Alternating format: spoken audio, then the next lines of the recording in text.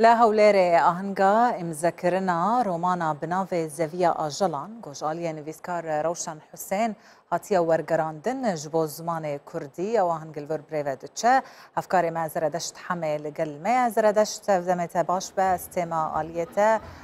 روشن بخوات شد بيجه سر ورگراندنا كتب بو زمان كردي و اما آماده بوي چد بيجن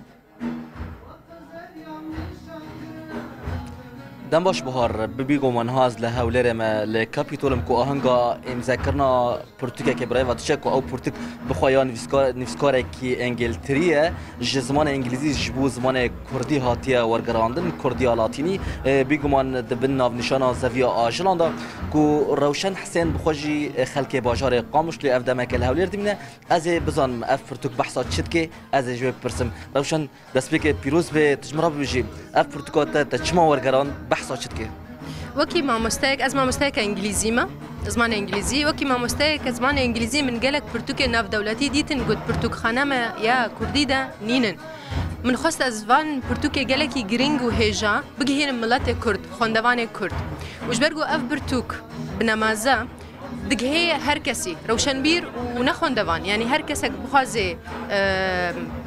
بخوينه تبگه کاری به پرتوکه بخوینه ته بحثا یکی کرتا گوت اف پرتوک بر سردم صدام حسین قده خبو جبر بحثا کسین دیکتاتور دکید کارش مربش بله راستا تنها هر کسی که دیکتاتور مێژوو دە دەمانەها دەت ببینێت کارەبێژ ئەف پرتوک سەروی هاتیان ویساندن ئەفژی زیرەک بوونەکەش جۆرج ئۆرول نویسکارێکی گەلێکی زیرەک بوو ژبەرگ و بەحسا دکتاتۆریەتێت کێ چاوا کەسێ دکتاتۆر ژناو مڵەت دەردکەوێ و دوێ دکتاتۆر سەروا کەسێن گوبوارە راپەرینێ کرد اف برتوك بحسن وان دكي وش برولو يعني وقت قنها قوتي أه صدام حسين دما خود اف برتوك قدا كربو بله أه بيگمان جبو زمان کرمانجی تا ورگراندی کردی تا انگلیسی ورگراندی با آلیکاریا که هاتا ورگراندن که سرپرشتیاریا ویدی کر جبو زمانیان که آلیکاریا تدکر براسی نت نه اسان بو گوت وجای انگلیزی بگهنه ملت کرد جبولو نه استنه بوم